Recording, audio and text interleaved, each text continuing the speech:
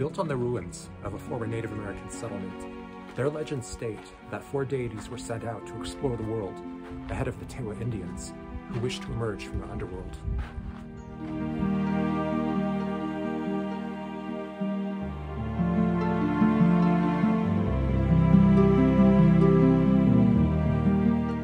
This hanging tree has since been cut down, perhaps due to all the spirits sighted in its boughs, though it has done nothing to suppress the sightings and sounds of other spirits.